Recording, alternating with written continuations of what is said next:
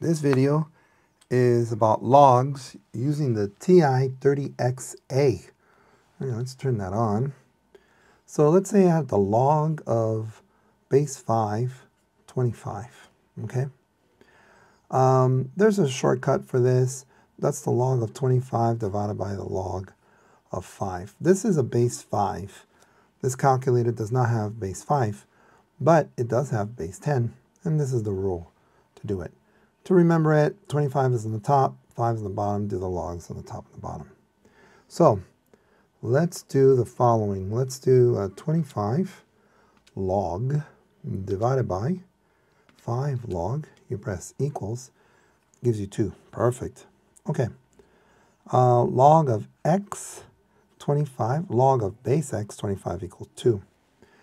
There's a rule that says that the log of base a, b equals c, which means a to the c equals b. This rule is important while we do this. So here to solve it, we go uh, x to the second power equals to 25. We take the square root on both sides. x equals what? Well, uh, 25 square root gives you 5. Very nice and clean. Okay. Let's say we have the log of base 10, x equals 2. We use uh, this rule. 10 squared equals x. 10 squared. Ah, okay. So 10 y to the x 2 equals 100. Nice. All right, antilogs, 10 to the 2.5. Same thing, 10 to the power of 2.5 equals, it gives you 316.227 and so forth. Uh, if you look over here, where is it, at the log, there's an antilog, 10 to the x. All right, let's do that. Let's put 2.5 second log, and it gives you the same answer. Got to press that second button first. Make sure. Um, 10 to the minus 1.5. So we do um, 1.5 plus or minus key, second log for the antilog, 0.03162, and so forth. Perfect. 10 to the half. Ah, okay. So uh, let's try this. Let's say 1 ABC2 and then second log, and it gives you the answer, 3.16227 and so forth. This one can be also be written, rewritten as the square root of 10. The index of 2 is over here. If it doesn't have it, it's assumed a 2 and then the 1. So this is really the square root of 10. 10 square root gives you the same answer. Really neat. By the way, if this is going a little too fast, by all means, pause, rewind, and watch it again. Okay. Um, also, please subscribe. Please tell your friends.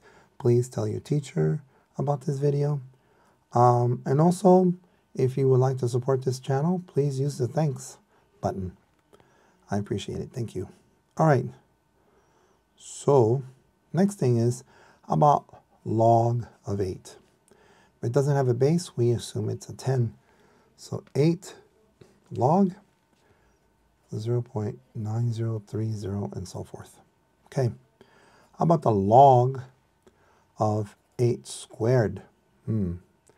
So this one, you take 8, you square it, take the log, and gives you 1.8061 and gives you more numbers. Now, there's a rule that says you can bring down the 2. So 2 log of 8. So what you need to do is say 2 times uh, 8 log equals, and it gives you the same answer. The combination of keys is important. So learning those combination and learning that combination is super critical. Natural log of 8 Oh, okay. Press 8, natural log. We get 2.0794. Okay, natural log is really the log of base e, 8, which gives you that answer. What is e?